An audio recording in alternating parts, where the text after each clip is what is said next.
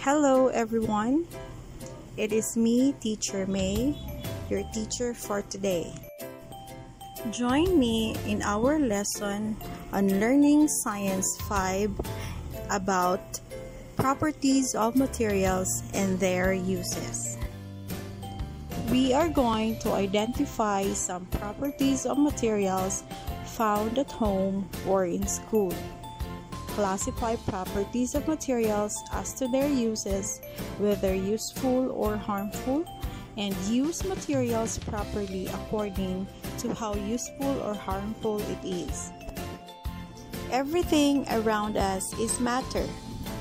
The trees, the bicycles, the street lights, and even buildings and houses are made up of matter.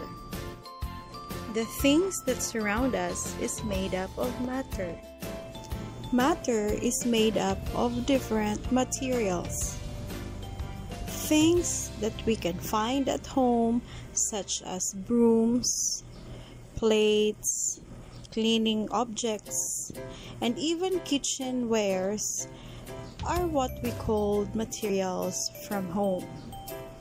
And books notebooks, calculators, scissors, and ball pens are materials that we can actually find in school. What are materials? A material is a physical substance used to make things. It is categorized according to metals which consist of the following bronze, steel, brass, aluminum, iron, and copper.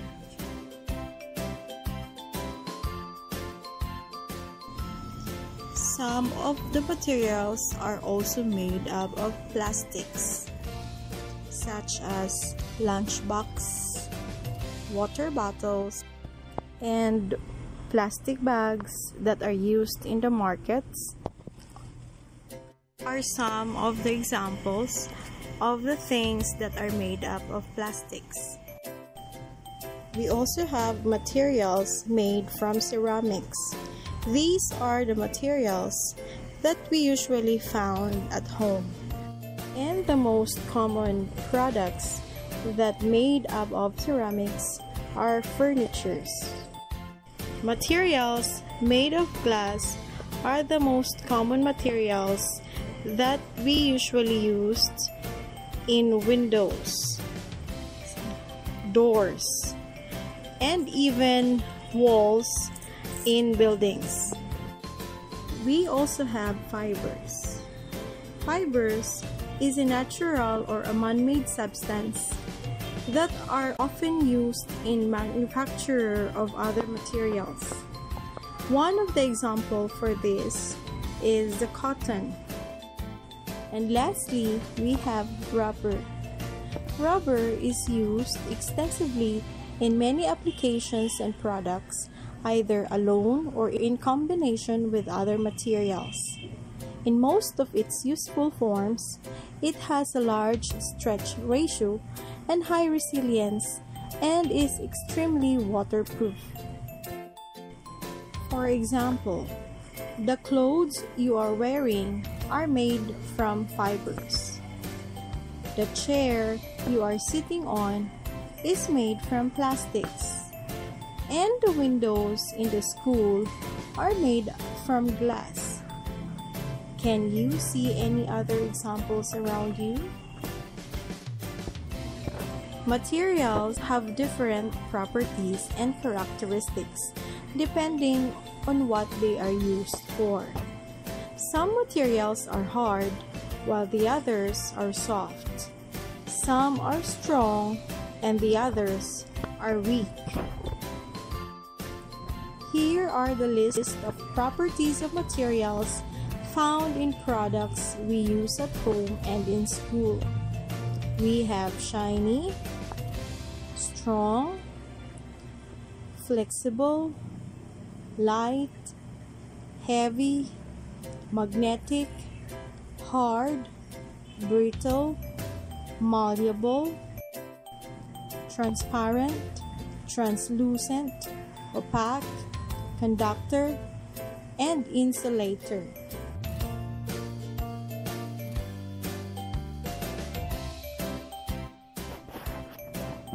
Can you think of material you use every day at home?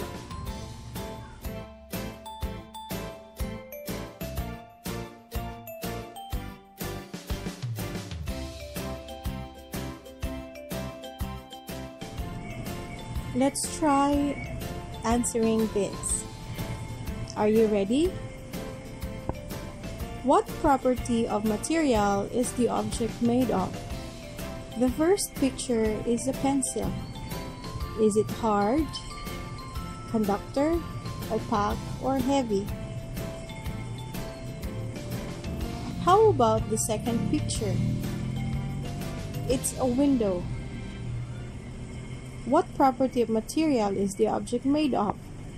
Is it transparent, brittle, translucent, or hard?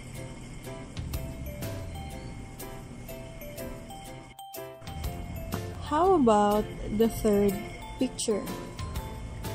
What property of material is the fork made of? Is it hard, shiny, opaque, or conductor? How about the fourth picture? What property of material is the paper made of? Is it light, opaque, malleable, or hard? Let's check your answers. These are the materials made of the following properties.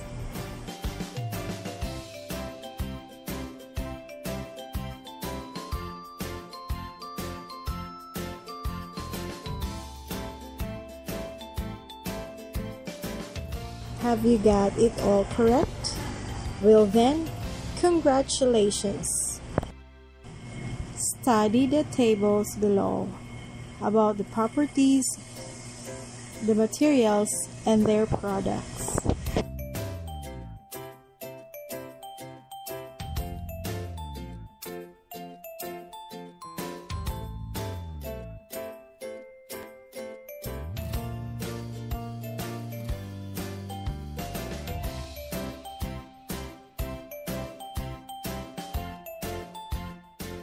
Let's try to go over the properties and their uses. Can you name the picture? Correct, it's a saucepan.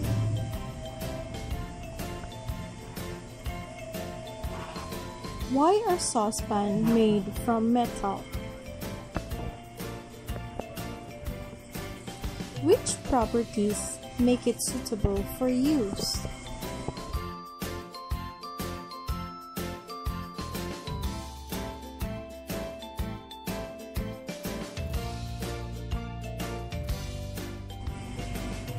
Saucepan is a good conductor of heat. It does not melt in high temperatures and is strong.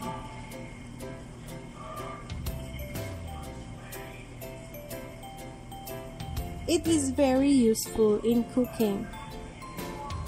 But on the other hand, it can be harmful if not properly used while cooking because you might be burned. Let's try to look at the second example. Can you name it? Correct. It is Zonrox. Why are Zonrox made from bleach? Which properties make it suitable for use?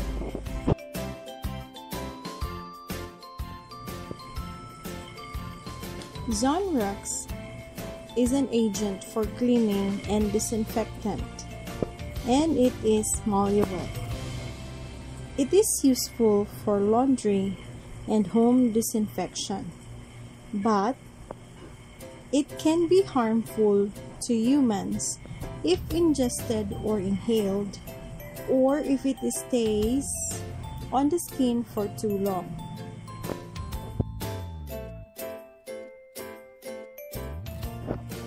Let's do it.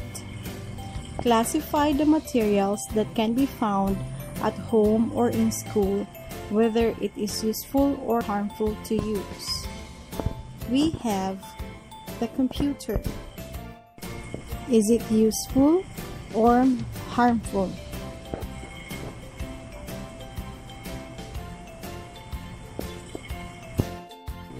Computer is very useful in making assignments and doing research. How about the Baygon? Insect repellent. Is it useful or harmful? It may be harmful when not properly in use.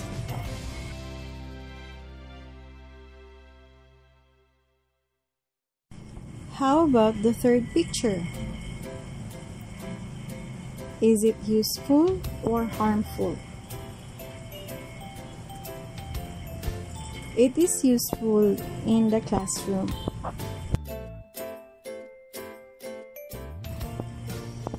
How about this last picture?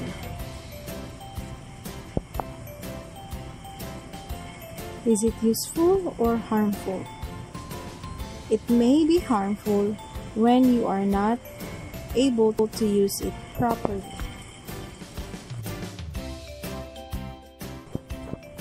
Let's answer this. Choose the letter of the correct answer. Number 1. Farmers use chemical fertilizers to increase their harvests. What are the harmful effects of these when not properly used? A. It pollutes water, air, and soil. B. It gives abundant harvest. C. It destroys the plant. Or D. It gives more income to the farmers. What is your answer? Number two, what are you going to do on chemical substances that are left over from products such as soap, detergent, and chlorine? A. Water it into the plants. B. Throw it to the rivers. C. Leave it anywhere at home. Or D. Dispose it properly where it is not reachable by children. What is your answer? Number 3. Oil spill from ships and barge pollutes the ocean. Which among the following are most affected by this harmful effect? A. Aquatic plant and animals. B. Birds flying around the sea. C. People traveling and crossing the ocean. Or D. The community. What is your answer? Number 4. Muriatic acid, Zonrox, and chlorine are substances used in cleaning. When are these materials become harmful? A. Use it without proper guidance. B. Helps disinfect at home. C. Keep it properly to secure place. Or D. Use it with precautionary measure. What is your answer? Number 5. How can an LPG be useful? A. It can be used in burning houses. B. It can be used in cooking. C. It can be dangerous. Or D. There is no harm in using LPG.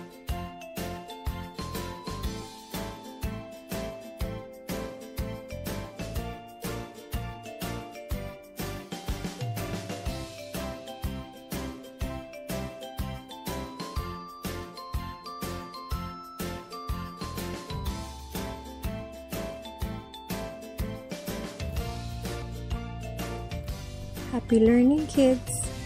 See you in our next learning session.